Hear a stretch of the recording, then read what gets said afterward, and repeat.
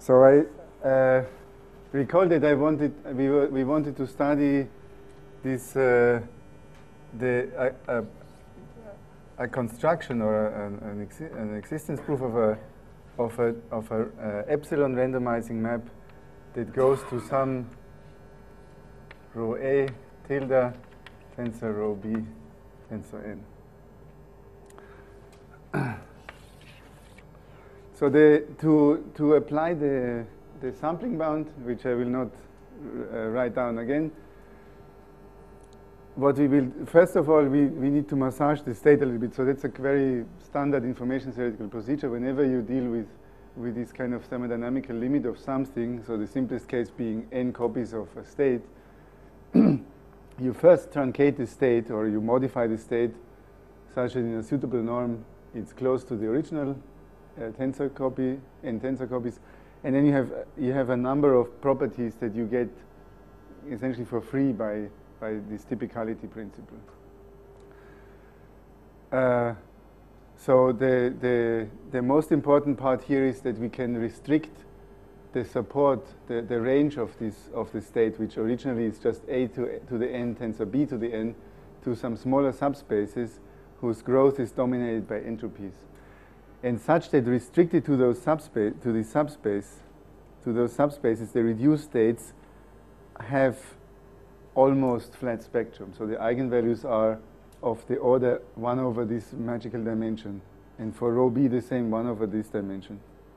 In addition, even the joint state, uh, we also restrict that globally to a, to a subspace, which I don't need to mention here, such that all, uh, so this is only on the on the on the range of this of of this operator. Uh, so there are other zero eigenvalues, uh, such that all the eigenvalues are 2 to the minus n, the entropy of rho plus minus epsilon. And this epsilon is is a is a is a given is a given parameter which which essentially is this epsilon from the epsilon randomizing. We let it go to zero later. So and then uh, it's clear that it's enough to decorrelate this state rho n, a hat, b hat,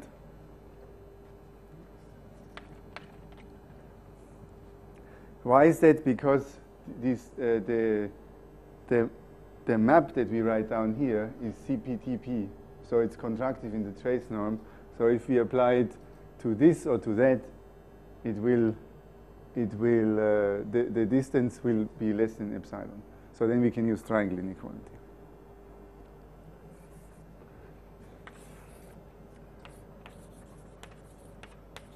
So now I want to show you how how we get the, the direct part, the, the, the other direction of the lower bound that I showed yesterday. So what I want to show is that, that lim sup n going to infinity and epsilon suitably going to zero, of course. I mean, this, this has to be now very gently uh, go to zero of 1 over n of this log capital N and epsilon less than or equal to the mutual information of the state rho. So that I remind you this was S of rho A S of rho B minus the joint entropy S of rho A. Okay, so I already take up all the blackboard just writing down the what I want to prove. So that, well, it's, it's maybe it's not so bad I wrote it this requires that we come up with a particular uh, bunch of this number of unitaries. And so how do we do this? So the first step is, uh, well, okay, the proof will be a, by probabilistic method. So I will just show you how to pick, I will just uh, define an ensemble from which we will pick these unitaries. So it will define a random channel, and then I want to prove that with high probability that's exactly what we, what we need.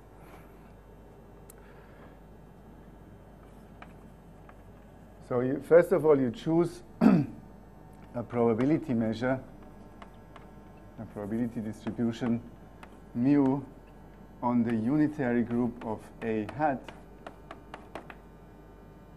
So recall that this is, I simply, I simply forget that there is this a to the n. And my unitaries will, first of all, just act on a hat, and I will extend them by identity to, to the surrounding space. With the, with the, proper, with the, with the property that, it, uh, that the, the following map, so uh, let's say sigma going to the integral d mu of of unitary u sigma u dagger that this is the uh, this is the maximally mixed state for all sigma. Yeah, so this is a this is a state. Or more generally, I have to put the trace of sigma here. Yeah, so the uh, there are many such measures. I mean, maybe maybe you ask yourself first of all, can I even choose one? There are many. One of them, I mean, maybe the mathematically most useful one, is Haar measure, the unique unitary invariant probability measure. That is why that works. I mean, it's the easiest one to see because this average here then is manifestly unitary invariant, and the only operators invariant under conjugation by unitary are the multiples of the identity. But there are plenty of others. So the smallest one, for example, the smallest uh, uh, support of such a measure is actually dimension of a hat squared. it's quite easy to see why it cannot be any smaller. It's, an, it's a simple algebraic argument. Um, and for example, you can attain this by choosing the, the discrete Weyl-Heisenberg group. So this is the, the, the, group of unitaries generated by the cyclic shift and by the diagonal matrices with, the, with uh, powers of nth root of unity along the, along the diagonal.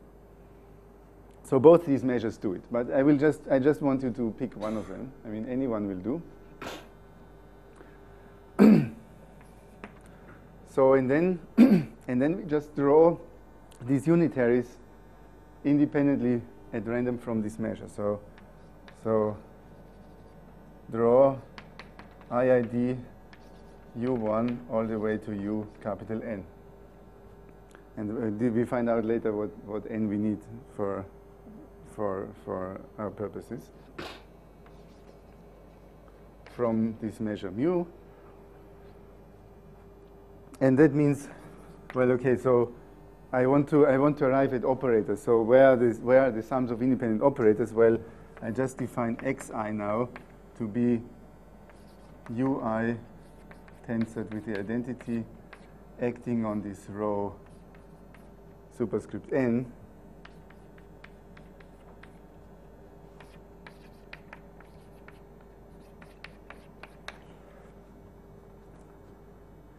Yeah, because what do we, we know, thanks to uh, let me call them yi, yeah? So this kind of, I just continue here. So note the expectation of this yi, so that's the same for all of them. This is simply the, the integral over these unitaries, and then we use this relation here. So we get 1 over, we get this maximally mixed state tensor, whatever is on the other side. So that is uh, rho n b.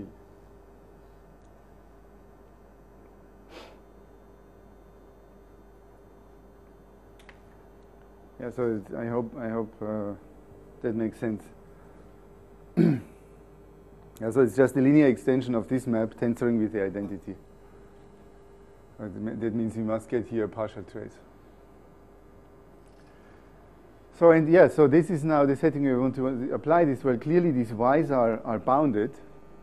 In fact, they are, they are extremely tightly bounded. They are positive semi-definite operators. And unlike my abstract theorem, they are not upper bounded by 1, but they are upper bounded by uh, this one some exponentially small number.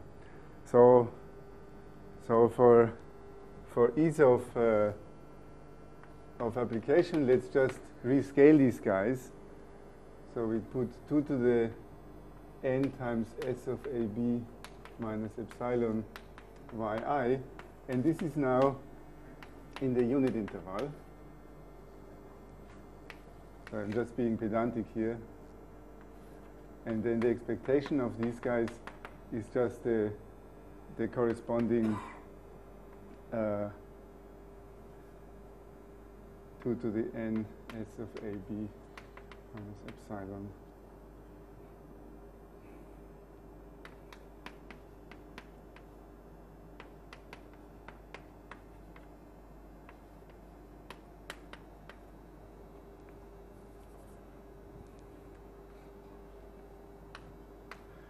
And we have similar bounds for these. We know what is the dimension here, or we have an upper bound, and we have a lower bound on the eigenvalues of the, this thing here.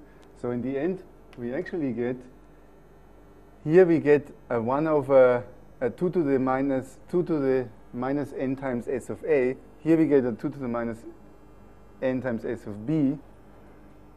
Here we have a plus s of ab. So all, all together, I get a 2 to the minus n mutual information between A and B.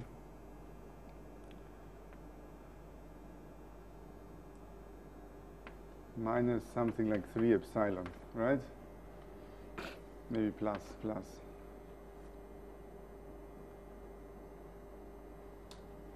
Yeah, something, something like this, huh? Uh, identity here. So this is my mu this is this mu that I this that I had in the in the theorem of uh, before. So I have a lower bound on this expectation value, and that means I have a probability that that uh, the the sum of y is sorry not is, for example, not low upper bound by 1 plus epsilon times the expectation. So, yeah, let's, let's call this just m.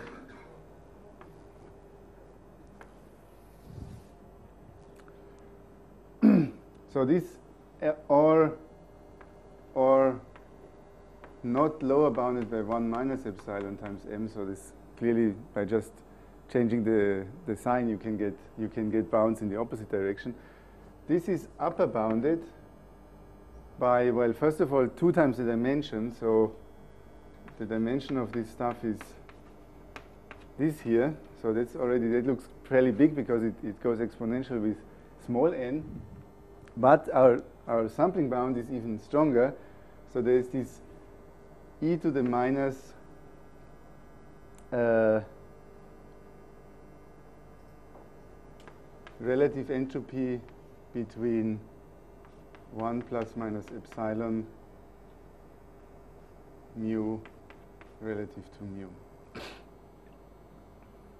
Um, times n. Yeah.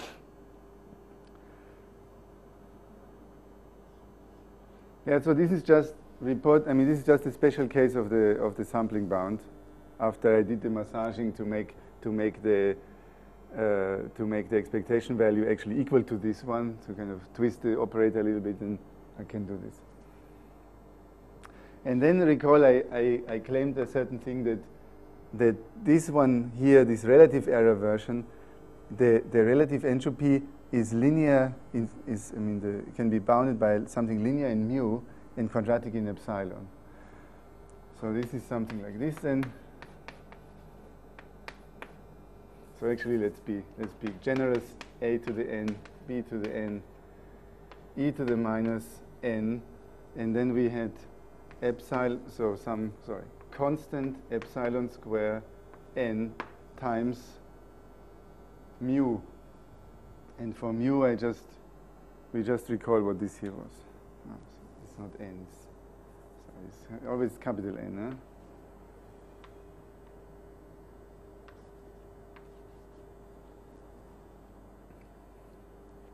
Yeah, so recall I wanted to pro- I want to prove ultimately I want to prove the existence of a relatively small set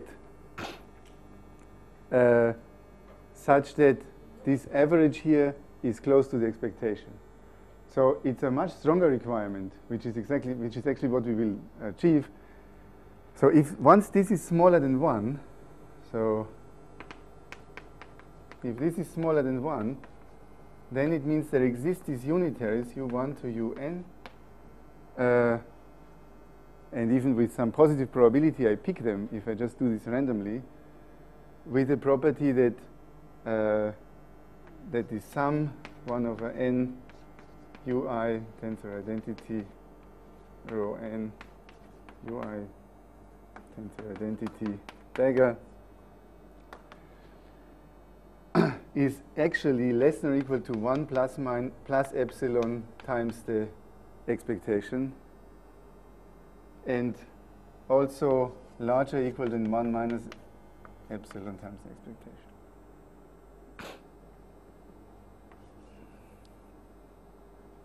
Yes, that's the probabilistic method. So in fact, of course, clearly by making capital N even bigger, I can make this probability very close to zero. Then it's saying that practically any, you can bet on it that, that a randomly chosen set of U1 to UN will have this property. Because you, with probability going close, going to one, you will, you will get this. So why does it solve our problem? Notice that on the left and on the right, these are states. So these are positive trace one objects.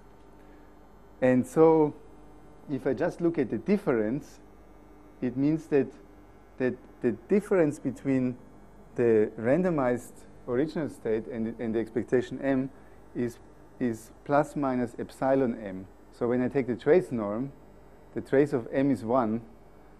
Uh, so I get this guy here minus m, uh, sorry, trace norm is less than or equal to epsilon.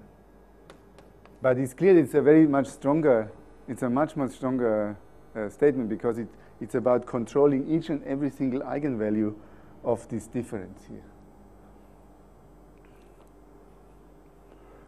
Okay, and so how do we make this less than one? I guess you can you can see this. So it's sufficient to make n so, uh, larger than, well, whatever. I mean, uh, so the, the dominating term is, is, uh, is up here. So it's this, it's this guy here. So we have a, 1 over c epsilon square, 2 to the n mutual information between a and b plus epsilon plus 3 epsilon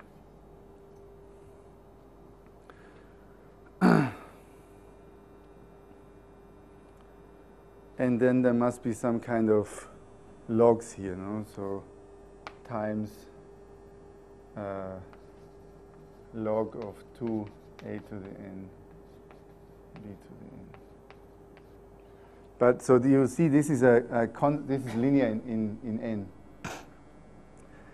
So this is essentially 2 to the n information between a and b plus delta, where delta is arbitrarily small Let me just define it like this. Yeah, so the, just, I'm just repeating this uh, because I know that it always takes time to get used to the information theoretical asymptotics.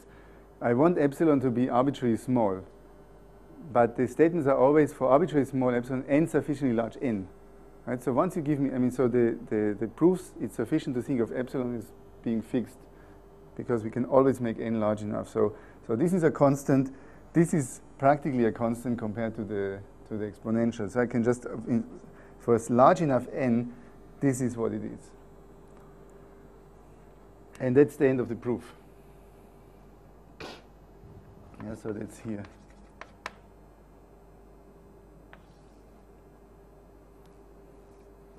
Yeah, I hope that made sense. I mean, it was really just straightforward application.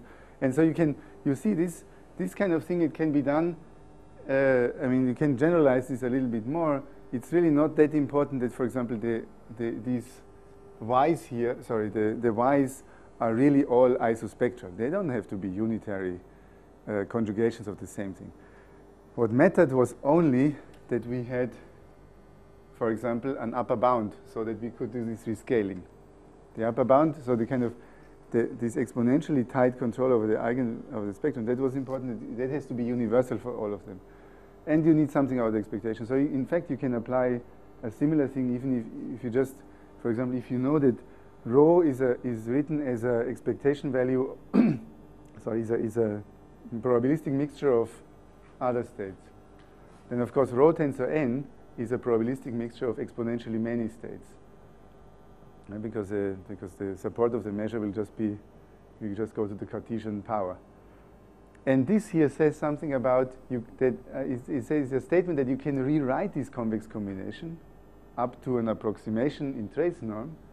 If you're happy with that, you can rewrite this convex combination with a number of terms that is, that is given by a mutual information.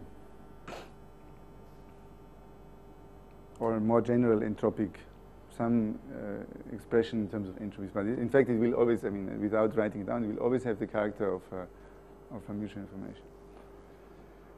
So, uh, yeah, so that was kind of one of these early applications of this sampling bound. I mean, this looked very interesting from the, from the information theoretical point of view. Uh, so in the in the remainder of today, I want to. Oh, there's plenty of time. I want to show that this actually has some serious implications to to information theoretical problems that were considered before. I mean, this is of course this is a bit gratuitous because we just invented the question in the in the same paper where we solved it.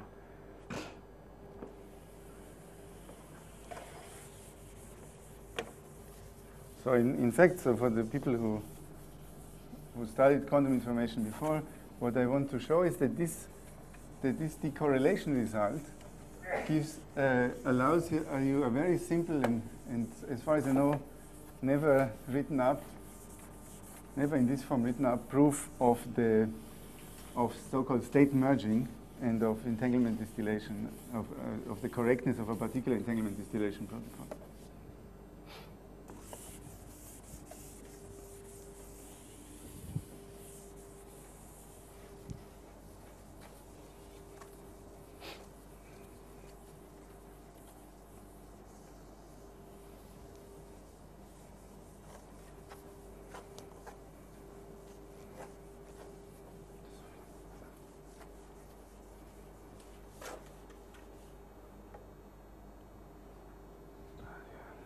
Okay. So let's see.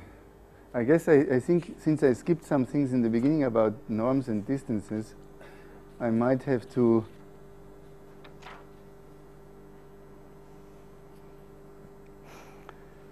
I might have to add a little postscript on on uh, on fidelity.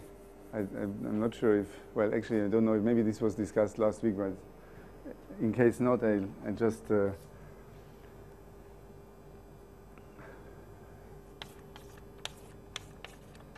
Just uh, say a few words about this. So this is a postscript to to distances between states.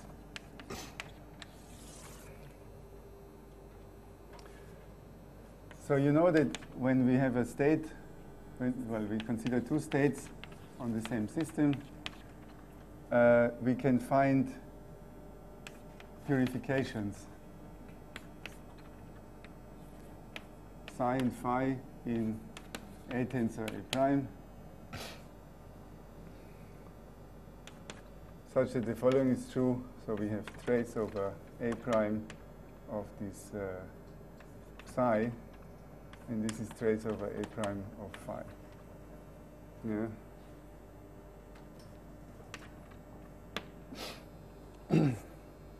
so it's always possible to find this and recall that uh, that any so, so we call these things purification of a state uh, rho.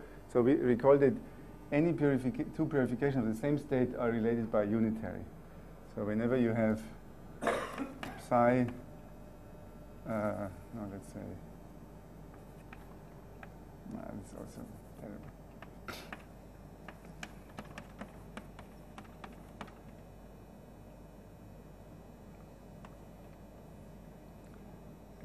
Equal to trace A prime psi tilde. Then there exists this, well, in general, I guess, isometry u from A prime to A tilde.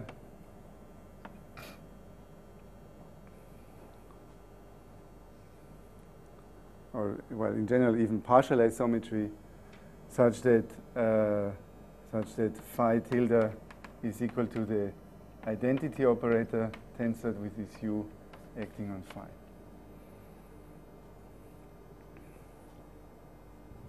So, so this, this observation, it gives rise to, I mean, it gives rise not just this observation, but uh, this observation is related to this definition here. So for, for, for these two states, uh, rho and sigma, we define the fidelity, which is f of rho sigma as the as the maximum. I could write sup, but it's actually easy to see it's a maximum over all purifications uh, psi and phi of this here, trace phi times psi. So this is 5 psi mod squared.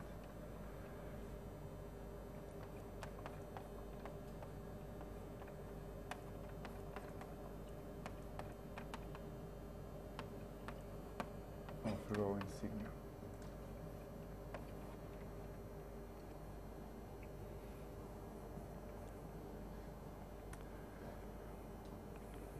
Yeah, and you see this, this is this is really just about optimizing over certain over unitaries here. I mean, once you go to sufficiently big spaces, you just embed everything in sufficiently large auxiliary space A prime, then it's really just about unitaries. Once you fix the particular purification. So, uh, so here's another thing that I used already, this trick. Uh, also, as also recall, you can always choose as a particular purification psi naught, for example, um, square root of rho tensor identity acting on this particular state phi. So this phi is a purification of the identity in this set in this sense here. And so then uh, so kind of a special purification. And that means that any other psi will have very simple form. It's just the square root rho tensor product with this, uh, well, I will just call it unitary, but you have to understand this is a unitary once you enlarge the spaces sufficiently. Or I guess, well, I guess in this case, no, in this case, I, well, Okay, in this case, it's, it's just a partial isometry. Never mind. Never mind. so then you can do this optimization here almost explicitly. So then it's kind of it's just a little lemma that uh, that f of rho sigma is this here. It's the is the product of the square roots of rho and sigma, trace norm squared. So this thing, it's, it's clearly always between 0 and 1, because we're talking here about just inner product of, of uh, unit vectors, if these are trace 1 states. and in fact, so this is kind of part 1. Part 2, uh, P of rho sigma, I don't, know if this is the standard notation, is defined as square root of 1 minus f of rho and sigma, is actually a metric on S of A.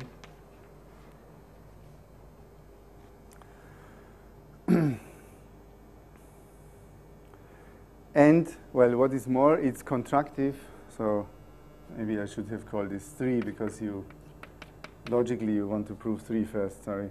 So P is contractive on the CP-TP maps. So that's very easy to see if your map is simply a partial trace because uh,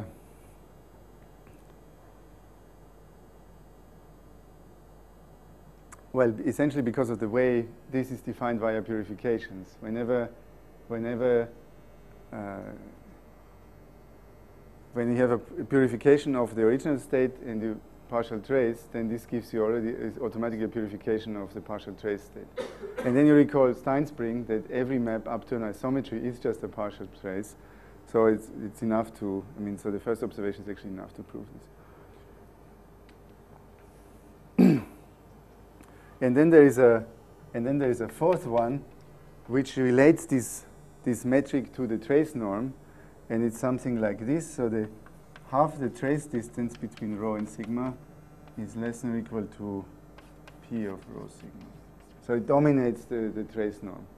And in fact, there's also an inequality in the opposite direction, but it's a, the only one I know is a nonlinear one. So the upshot of that is convergence in in the metric, in the trace norm metric is equivalent to the convergence in the P metric.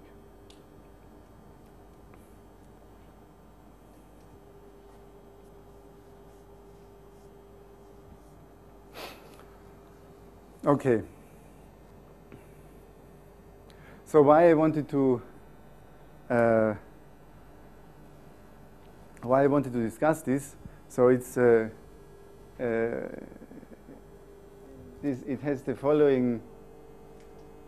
It has the following.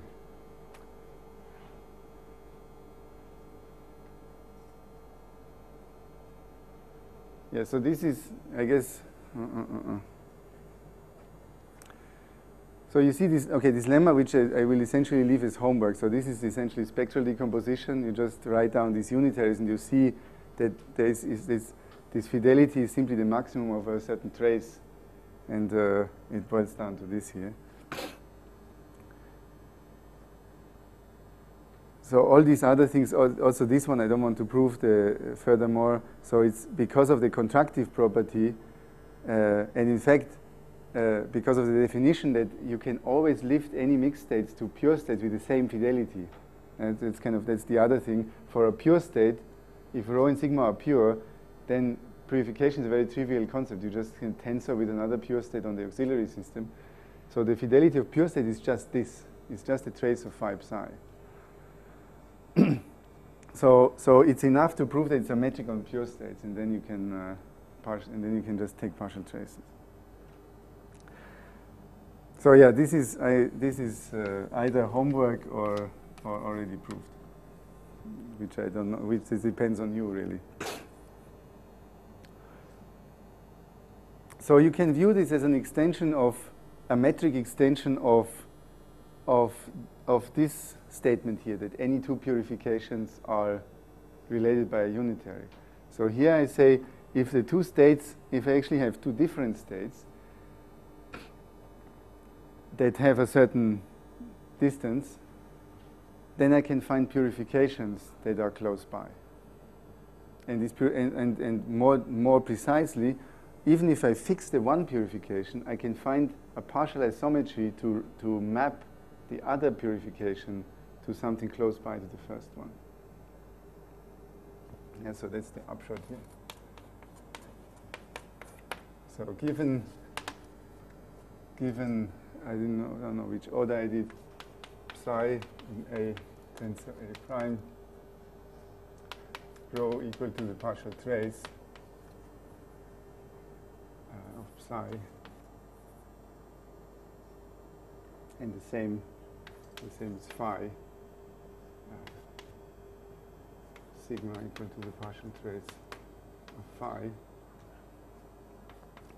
Then there exists this in general partial isometry. Uh, u such that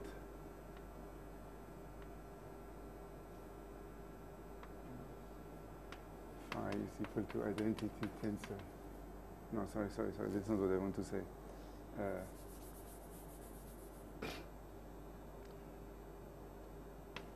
such that for psi prime equal to the identity tensor u of psi, I have uh, phi psi prime modulo square is equal to the fidelity,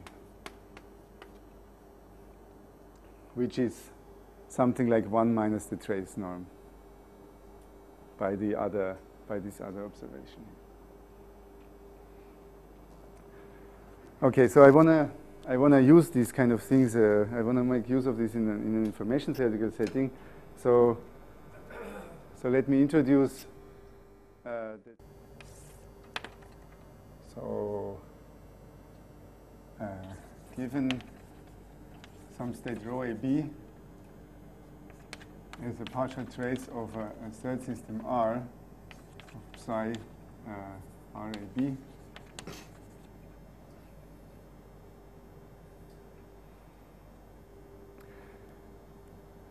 And you should think of it eventually as, as an asymptotic version that actually will consider the same problem. Given this rho, you look at rho tensor n and then take an asymptotic limit of n going to infinity. So this is, this is somehow shared between parties A, B, and what I call the reference R. So it's, it's, it's really just there so that we can speak of a, purify, of a pure state. There will, no, there will no CP maps acting on R, so we just keep acting on A and B in a particular way to, to achieve a certain transformation.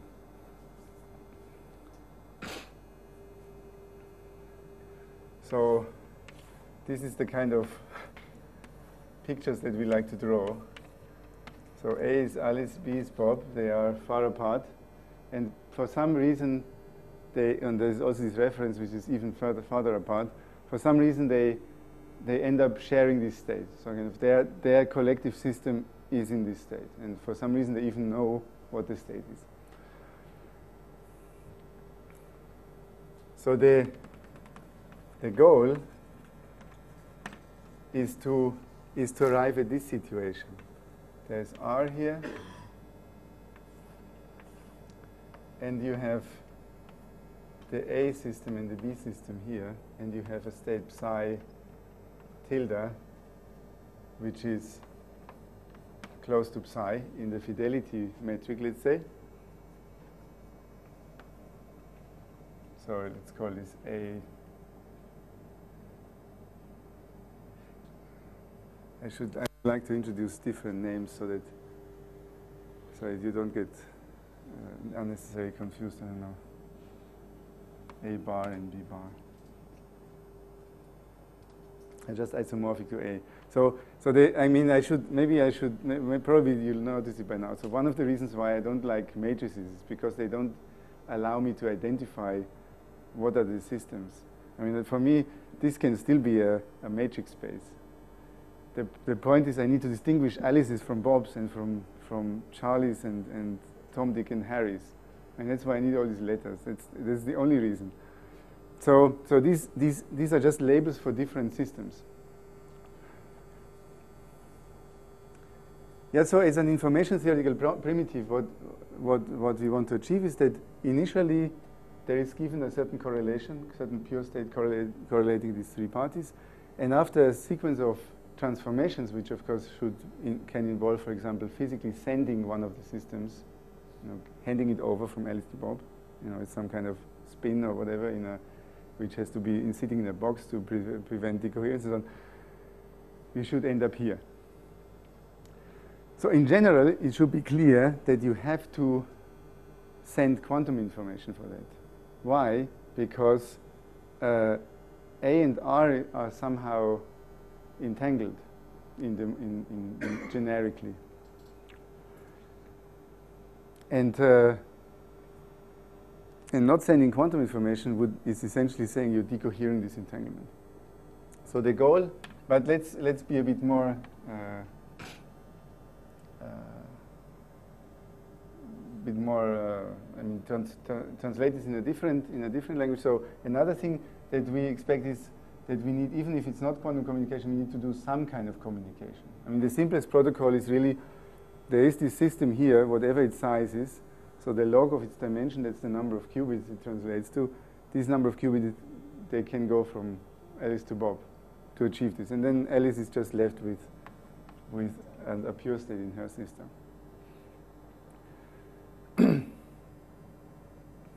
so I shouldn't say. This, the goal is expressed by this transformation. So the, the protocol can involve the following elements. Uh, you use entanglement. So in fact, it will be enough to consider maximally entangled state of some appropriate Schmidt rank. And uh, so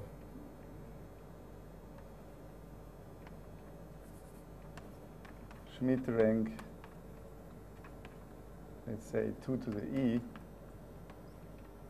so that e is the number of EPR pairs, and I'm allowed to use free classical communication.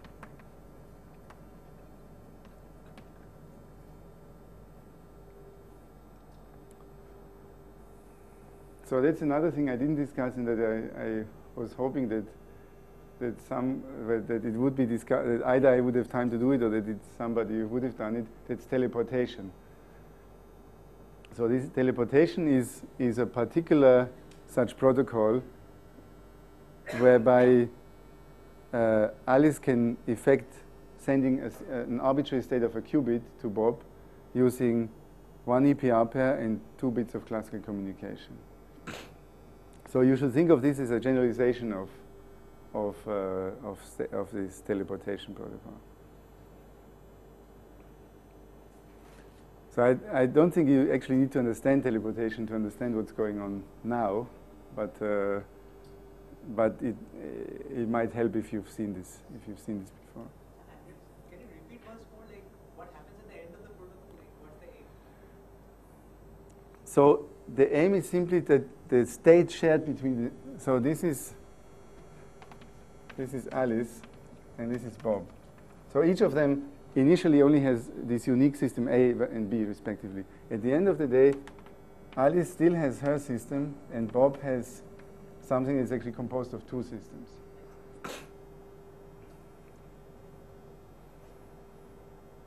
Yeah, so I introduce this, this separation so that I can, so that I know what is the communication here. Right? I mean, when, when you translate this into CP maps, for example, then, then uh, local operations are, are maps that only involve all the systems that are designated to be in the position of Alice. And non-local communication is something that has an input on Alice and an output on Bob's side, right? So this, this division is only there so that we can so that we can distinguish the local from the non-local operations.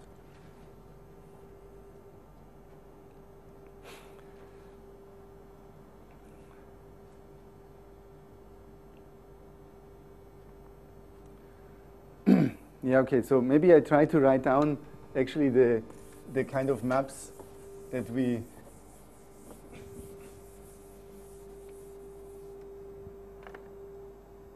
So that kind of what, what this should translate into in a, in a, in a protocol. I mean, sorry, in, in, terms of, in terms of maps. So what does it mean that we share entanglement? What that means is just actually is, is simply stepping back and saying, actually, it's not just the state psi that is here. There is also another state sitting here. So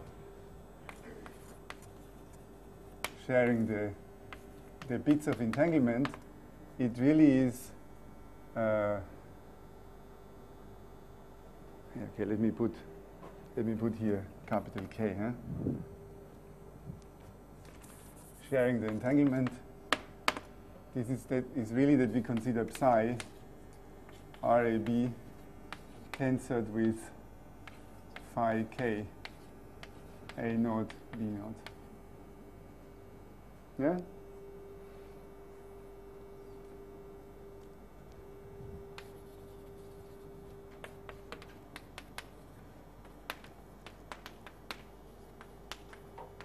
So that's the easy part.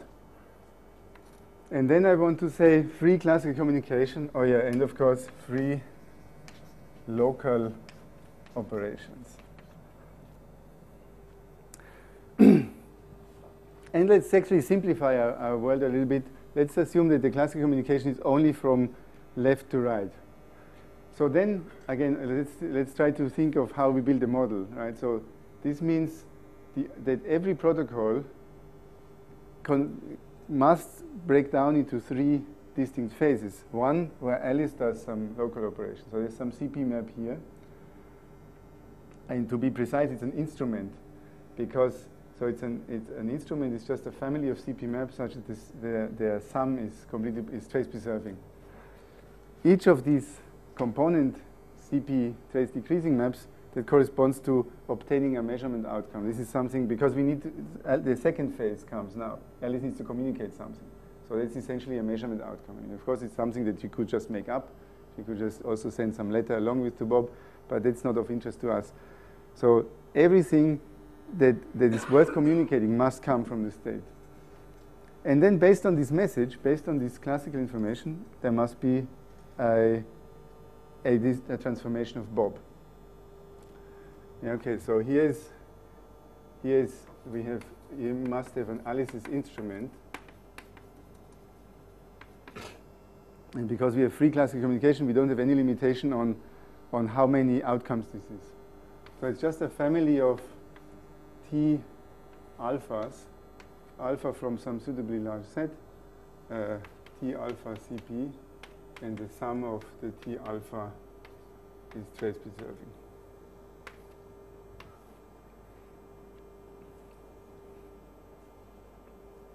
So these T alphas, what do they act on?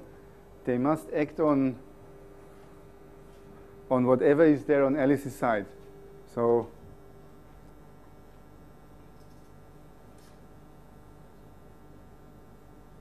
So it goes from A, tensor A naught, oops,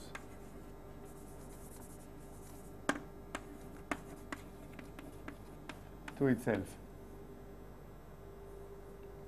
because it's a each of, I mean quantum mechanically it's just it leaves it leaves Alice's system in her hand. I mean there's no there's no other things that go to Bob. What goes to Bob is this alpha. What that means is that his operation, which now we don't need to think about instrument because we ask him only to, we don't care if he has some extra information here. Right? Like, like I said, this letter or whatever that can come from Alice, we don't care about this. We care about what is the final state that Alice and Bob in the reference share. So Bob's uh, some kind of decoding. That is, these are CPTP maps uh, D alpha, and they go from whatever his system uh, was. So it's B tensor E naught, and I want this to go to A tensor B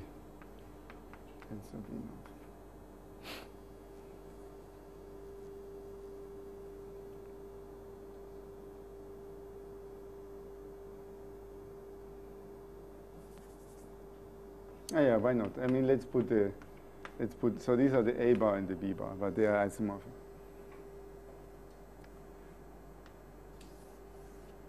So the, now I can rephrase what the goal is in terms of these nice CP maps. Uh, so what is the what is the state at the end of the of this whole procedure? Well, okay, so uh, we had we had the initial state.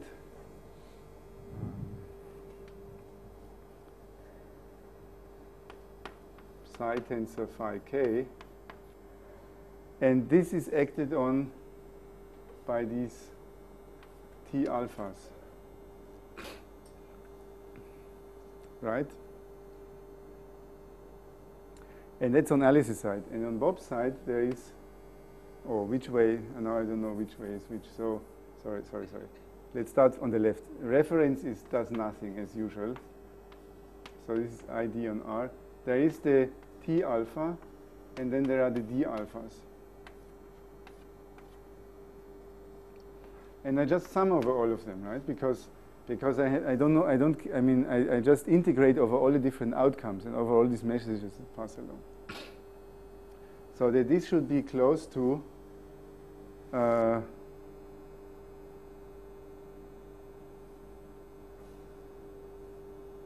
well, whatever, psi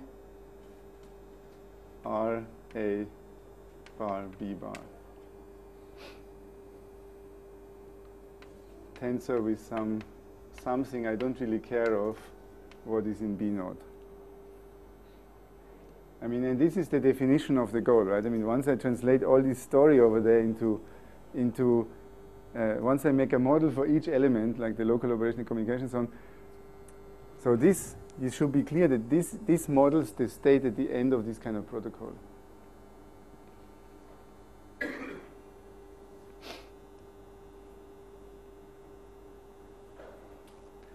Yeah, and this should be fidelity here, for example.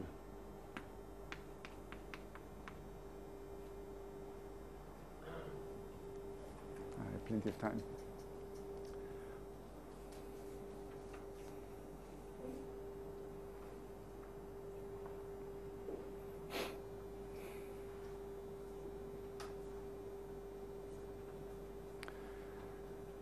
okay, so uh, is that clear so far? Questions?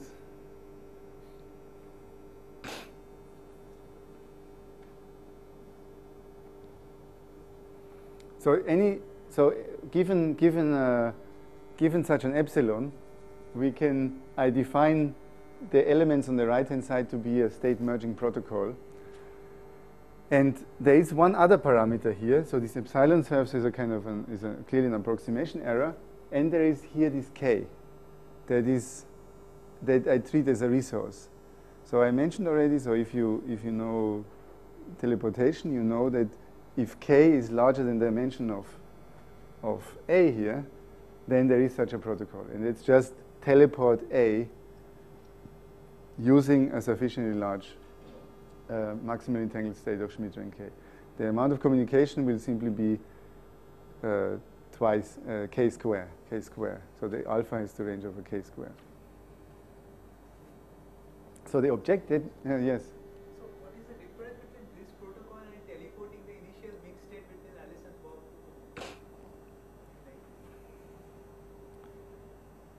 Yeah, yeah, okay. What I'm saying is this is one particular, I mean, everything that satisfies this condition over there, I define this is a state merging protocol, right? And I said teleportation is one of them. Now, clear, that means that if k is large enough, there is no question about existence of such thing, right?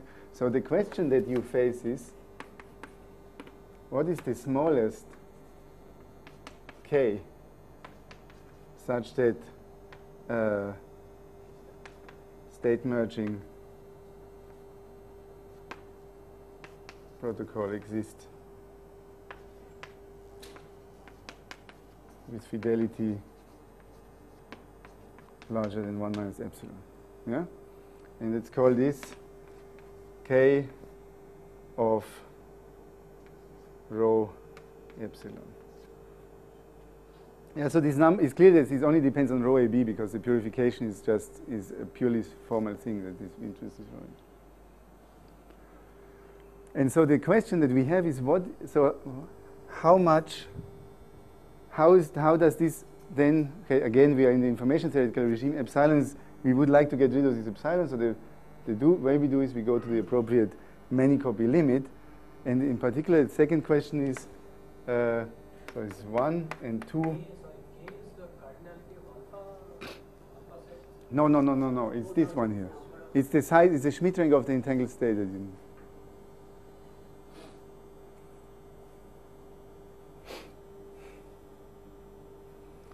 Uh,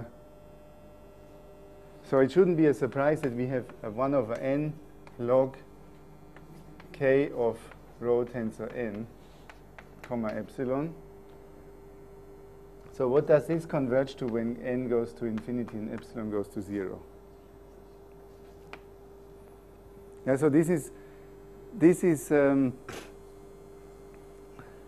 this is one version of asking how much quantum communication do you need to, to effect this here? So there's a special case of this when the entangled state is simply an entanglement between A and R.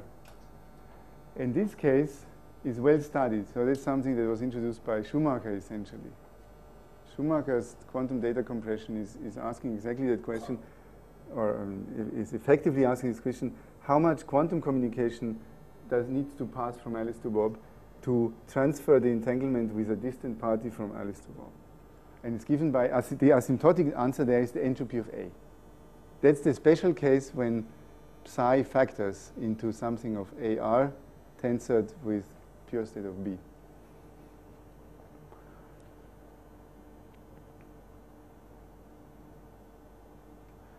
So why I'm doing, I mean, I'm, I'm, I'm, I'm using a bit of a, a, conceptual identification. I mean, obviously I introduced this in a particular way where, where my measure of complexity is the amount of entanglement, but via teleportation, this is really the same. So if I have free classical communication, having, with this free classical communication, sending a qubit or sharing uh, an one, one uh, EPR pair is the same thing. Operationally, I can, I can having, having a channel that sends this qubit perfectly, Alice can just, so having this channel connecting Alice, she can just prepare a two qubit state with this maximum entanglement, send one of these systems through the channel, and, uh, and of course the, end, this, the state at the end will be this maximum entangled state. And vice versa, we can invoke this teleportation protocol. So the, the, the fact that we have this free classical communication essentially says, makes the, the amount of entanglement equal to what you would need in communication. So I don't know if I should uh, if I should tell it to you right now. Anyway, maybe that's maybe that's uh, maybe that's the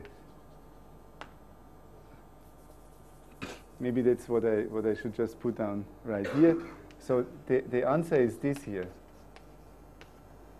which is the entropy of rho AB minus the entropy of rho B.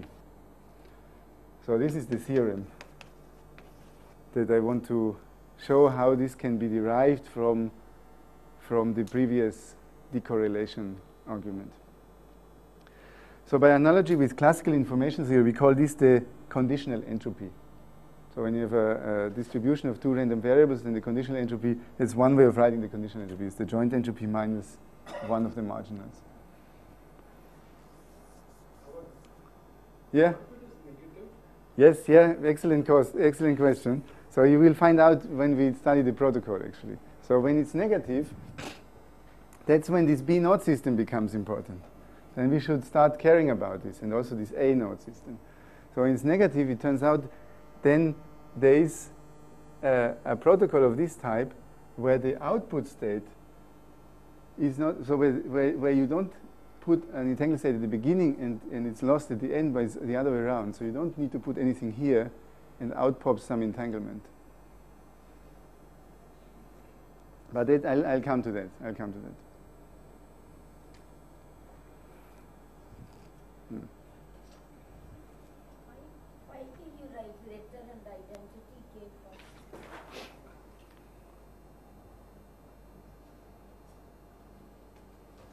Sorry? It's identity R here. It's just because of my, my Uh, conventional ordering of the three systems. So this is RAB.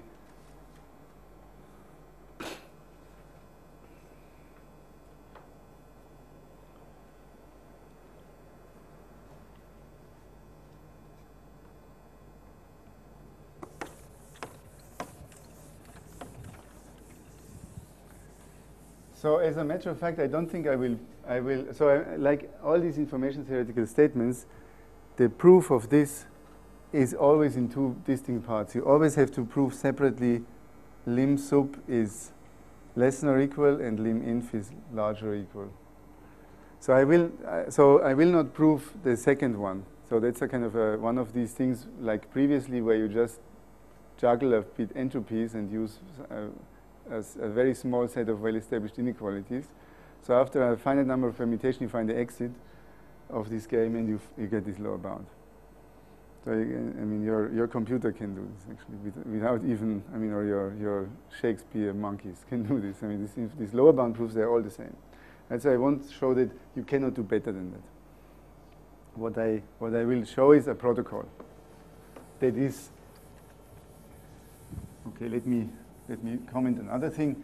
So the, this number here is always less than or equal to the entropy of A. And in fact, it's equal only if rho AB is a tensor product. No, no, no, no, no, that's not true.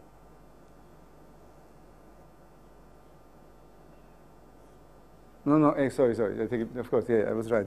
So it's, this is less than or equal to rho S of A with equality only if rho is a tensor product, which means that in this original in this original setting here, so if these two are a tensor product, it means that also I can break up the reference in a part of RA and RB.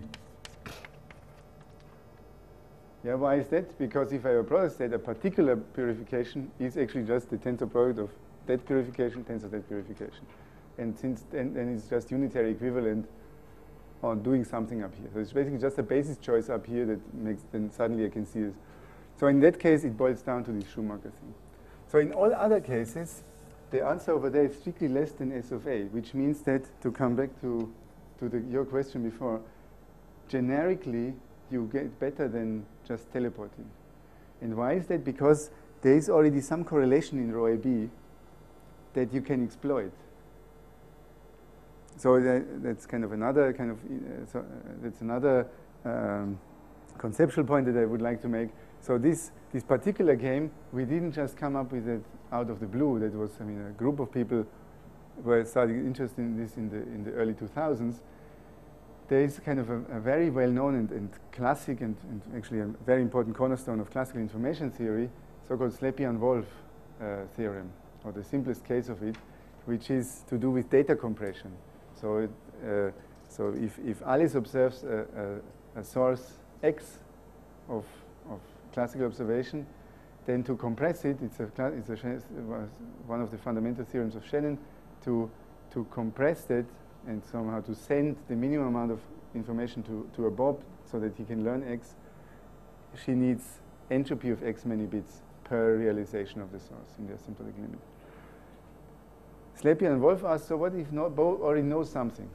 Knowing something means he has access to another observation, y, that is jointly distributed with x. And then the answer is h of x given y, the, entropy, the conditional entropy. That's the number of bits Alice has to send kind of to top up his knowledge, his partial knowledge. And so this is a, a quantum version of that. So this kind of, it's, it's, at least formally, it looks, the answer looks the same. And also the game is very similar. Uh, Alice and Bob have parts of the same source, and Alice's goal is to, to give her knowledge to Bob. Right? If you, I mean, this is already, of course, this is already quantum information yoga. This is, this is uh, accepting a point of view where every quantum state is, in some weird sense, information. Let's not worry about it too much, I guess. So here's the protocol.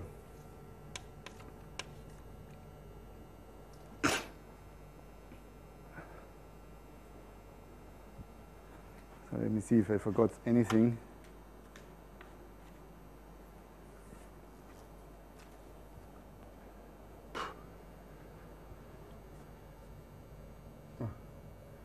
So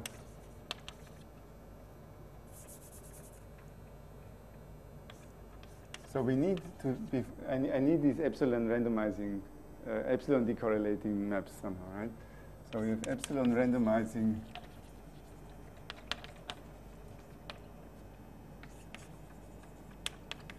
family ui on a to the n. Yep. Oops. For for which state? I don't want to decorrelate Alice and Bob actually. So here's here's the trick. For rho AR. So that's the partial trace over B of psi A R A B.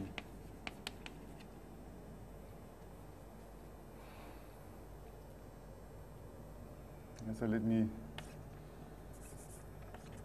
some identity tensor ui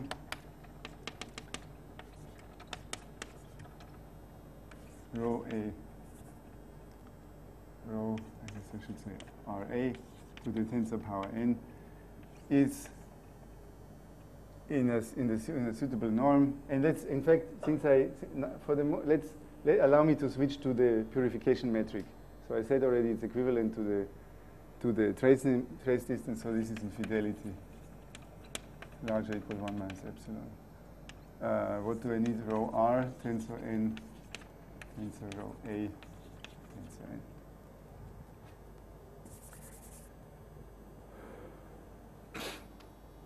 Where n is is, is asymptotically given by this number here, right? this e information between a and r.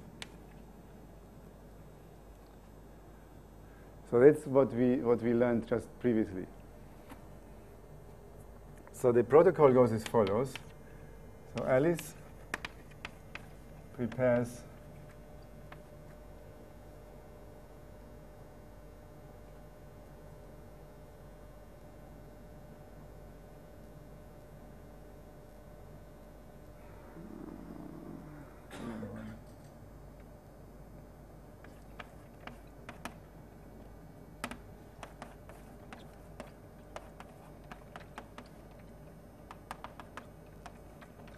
she prepares a uniform superposition of, of such states here in, in a suitable auxiliary space. So I, used, I, I want to use A naught already for the teleportation. Let's call it an A, A1. Yeah, so the situation we have at that point is there is this RBA, and then there is also this A one sitting here. So here's psi, and here you have zero. I just call it zero to have a, a label for it.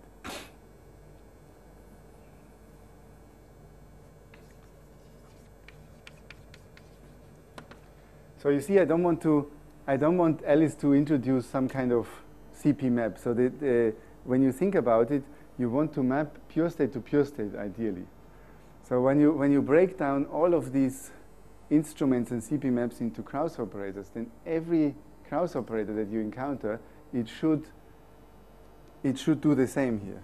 It should also, I mean, or rather on average. So most of these Kraus operators, they will have this same effect. So that motivates why we, why we try to, why we tr always try to keep track of, the, of a global pure state here. so instead of these, applying these unitaries randomly, she will just use this superposition as a, as a source of randomness. So she applies a big unitary, which is simply this. It's the sum over these ui's. So they now live on a to the n. Tensor with i on a1. Yeah, actually, I should be. I should be really precise. There's a n, rn, bn, and here we have psi to the tensor power n. So this is a unitary, right? So the good thing about this pure state picture is that I can, I can really just keep doing vectors and applying matrices to vectors instead of dragging around CP maps and conjugating by unitaries.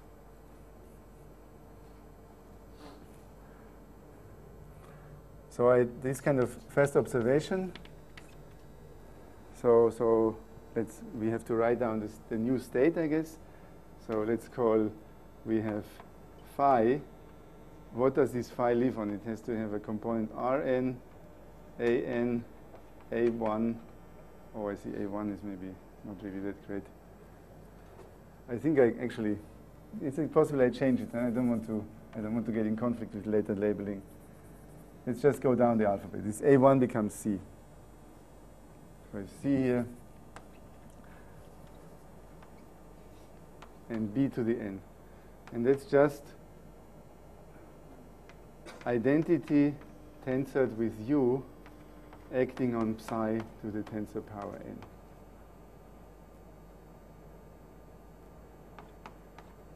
So this phi also is a label of n, of course.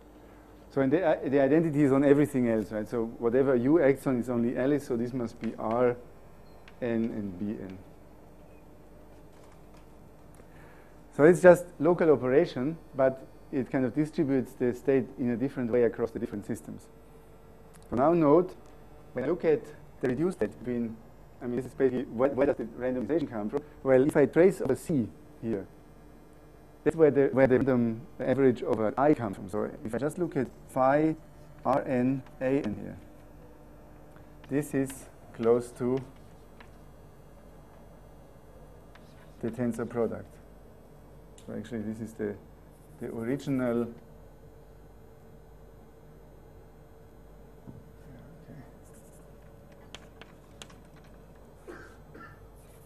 So let me just put it like this. Tensor phi a to the n.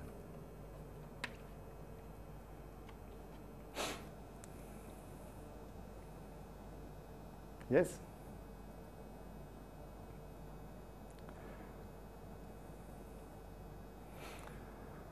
Okay,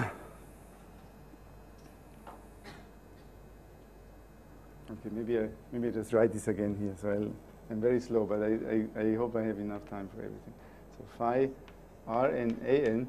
So this is just the, the corresponding density matrix, partial traced, is has high fidelity with phi r n tensor phi a n. So second step. Alice and Bob will have to do something with C system. So it turns out the best thing they can do is Alice can just will just teleport it. So the, the, the C is chosen small enough that somehow asymptotically there's nothing else to be gained. So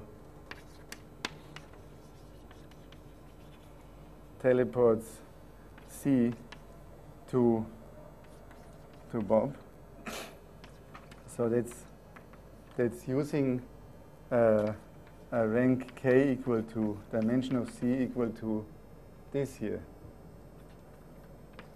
2 to the n mutual information A and R uh, uh, E bits that allow me to use this, this bit of jargon. I know, sorry, sorry, that's not, that's not really true. That's not the number of E bits. So that's just the, the Schmidt rank. Sorry, Schmidt rank. And appropriate number of classical bits of communication.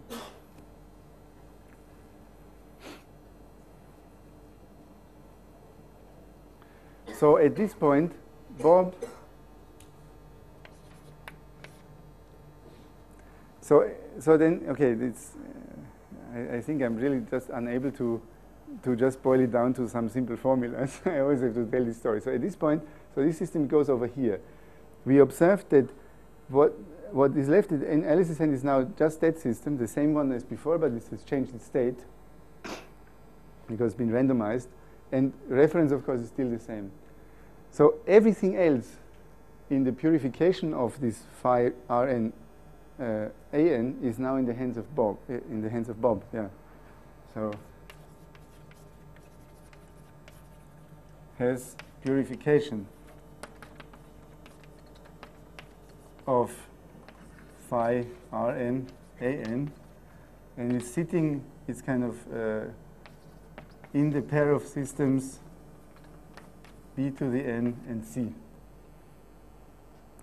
And now we just stare at this and, and, and use this insight of the unitary uniqueness of the purification. So the, this one, we, we are given a purification. It's that one. It's, it's, sorry, it's, it's phi. That's kind of this, physically the state after the teleportation is described by phi. But of course, also such a tensor product has a very simple purification. It's just I purify this one and I purify that one.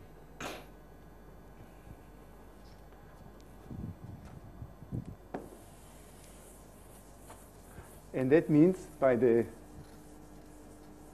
by the essentially by the definition of the fidelity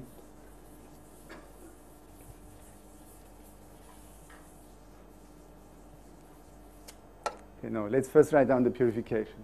So phi Rn An is just painfully trace over Bn C of this guy here. Phi Rn tensor phi An is the partial trace over, now here's something. We know a particular purification of this state here, of course. That's the original psi. So we have a psi to the tensor power n, a, uh, r a bar b bar over the, all the a bar to the n and b bar to the n. Yeah, so this is the first one. Yeah, I hope this is, this is crucial actually. So since we never touch the reference, its reduced state is, is still the same. I mean, we're always acting with trace preserving maps. And so a particular purification, which is the one we are aiming for in the state merging, is actually that guy here. Tensored with, well, what is this one here? Okay, now I guess I really have to, I just, I just made a mistake here. So,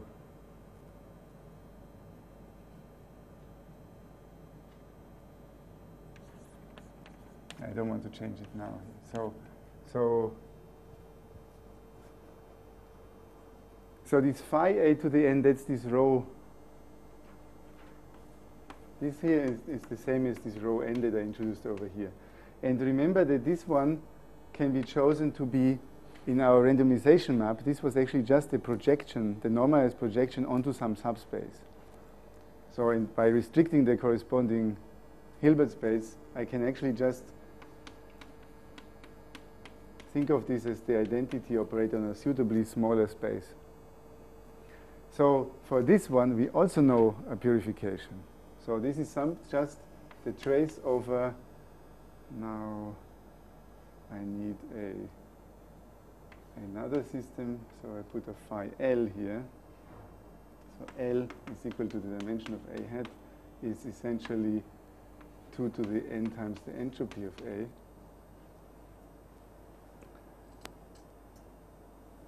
So this, the maximally mixed is always purified by some maximally entangled state of Schmidt rank equal to the rank of this guy here.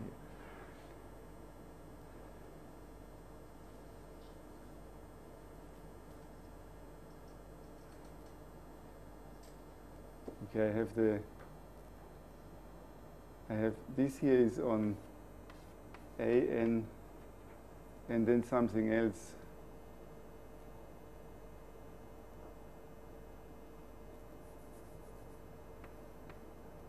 A hat and B hat, let's say.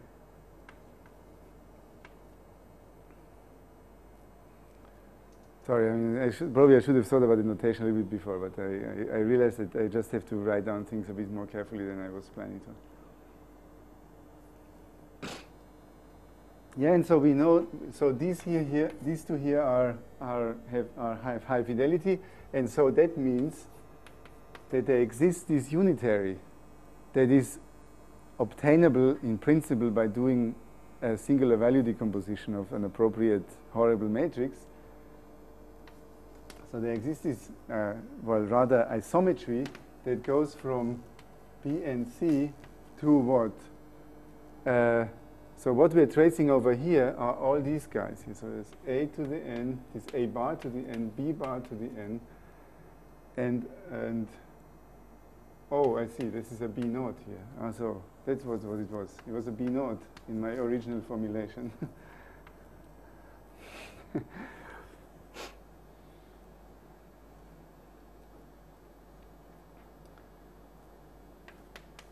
Such that these two purifications themselves become similar.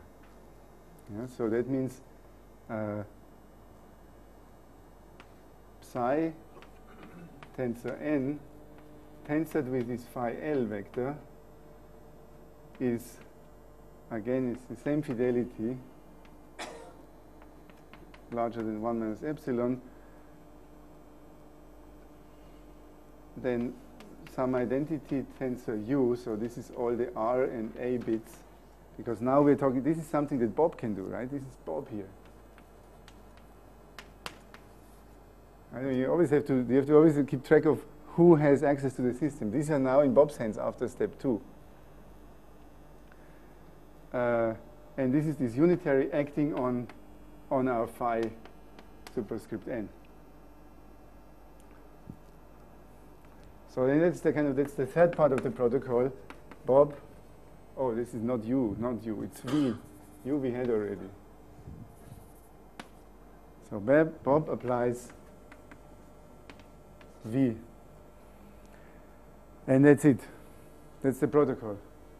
Because because that exactly gives us, here we have R A bar B bar. So that does indeed up to either trace distance or fidelity uh, what the definition demands that at the end of the day, um, at the end of the day, Bob, who has this A bar B bar system and the reference share this entangled state, the same one that was previously spread out over Alice and Bob and the reference. And there is some extra stuff, which now you realize this is entanglement between between I shouldn't have called this A A hat, huh? Okay. I use my powers and change this into into or A naughts because because now it's of course now it's much more symmetric. So A naught and B naught is now a register that is spread out over Alice and Bob and they share entanglement. So let's take, let's, let's take stock what the protocol actually does.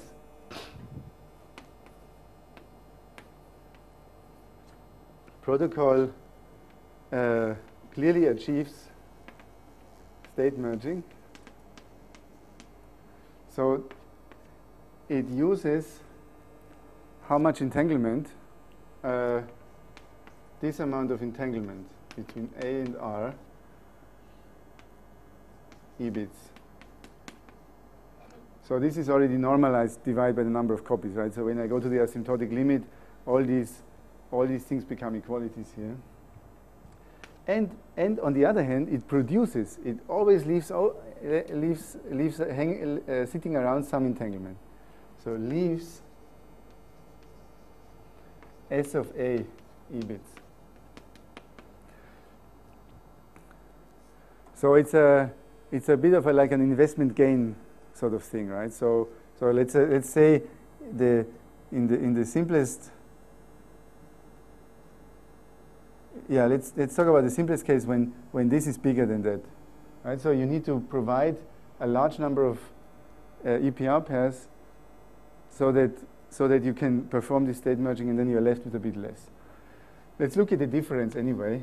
The difference is what I claimed. Difference. So you know this is S of A plus S of R minus the joint entropy. One S of A cancels, so I'm left with S of R minus S of AR, which is the same as S of AB minus S of B. I hope you see why, because we are having a, we are talking about the pure state here. So the the reduced state on R is isospectral with that one on AB, and AR is isospectral with uh, that the state on B alone because it's always it's always a bipartite cut, and then we use some we can use think of Schmidt decomposition, Schmidt values in the spectrum. So this this entropy is equal to that, that entropy is equal to that. This is equal to the conditional entropy. yeah, so I should so at this point you realize I should have refined my previous statement a little bit. I should have said uh, so state merging protocol is actually a bit more general. It's something like this. It's some uh, it's something that takes in psi tensored with a suitably large maximal entangled state and outputs the merged state psi on this A bar B bar system tensored with another maximal entangled state. And the cost is quantified by the difference of entanglement. And so in, in this sense you can see why the negative here is makes perfectly good sense because it's just a balance in your accounts. So there are situations where the mutual information is larger than S of A, that means the conditional entropy is, uh, is positive, in which case there is a net consumption of entanglement in this process. And there are other cases where it's the opposite, where this, neg- this is negative, where you have a net gain. So you, you need a startup, you need to have a bit of a capital of, of entanglement, but then this process can be, can be done just purely by classical communication and you gain entanglement. And that leads me to, so I will just uh, finish this as a speech without writing anything more because the board is full. Uh, so as a special case, if you now forget about the reference, if, if you just think about, you know, what are the things that Alice and Bob see operationally, they just have access to rho AB jointly. And so there are these particular situations when S of A given B is negative, where there is a particular protocol that doesn't use I mean, actually, so you have to you have to think about this a little bit. Uh, maybe even maybe modify the argument here slightly. There is a protocol that doesn't even use any entanglement to start with, and eventually gives you minus s of a given b uh, EPR pairs per copy of the state in the limit. So you need to have a startup cost until you reach a certain amount of entanglement. So that may be a very inefficient protocol. So for that you need to know once S of A given B is negative, you can actually extract somehow something. And then you just keep repeating, right? You have a long, long block of, of many copies of rho. You just chop it up into smaller blocks. And for each of the smaller blocks, you will execute this protocol. It will just keep generating more and more EBITs.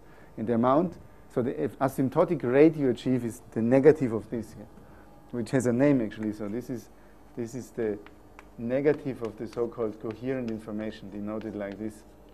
So the, this, this angle bracket is to remind you of the coherence. And this is a, this is a, I mean, once you know this, you can derive all sorts of other things. So the same number occurs in the expression for the quantum channel capacity. So by another modification of the same protocol, you can, you can prove that given a, given a channel and given a, a reference state so that you can construct the Choi matrix with respect to that reference state,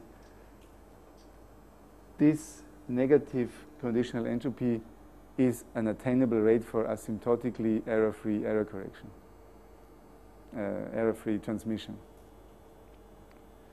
So this number gives a lower bound on the quantum channel capacity. Uh, and, uh, and a whole bunch of other uh, asymptotically error-free coding procedures, they all hinge on this one. So that was something that was figured out by Igor Devetak and, and a little bit also by me in the early 2000s, and starting with, with this particular, well, with some version of this merging protocol. So if you take away something from this, then you learned, I think, already quite a bit about what modern quantum information theory is about. Okay, thank you very much. Sorry?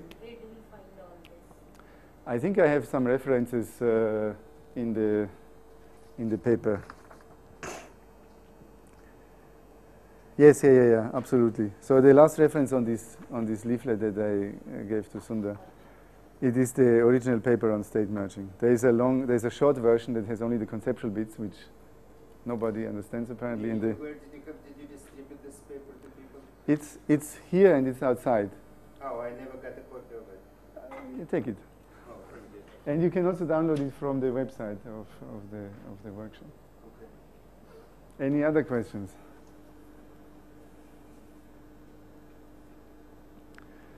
Well, then maybe we should we should close, and uh, I should say, I mean, I should repeat the words of Vern. I mean, it's uh, thanks to thanks to Sundar for organizing all this, and thanks to all of you for, for your active interest.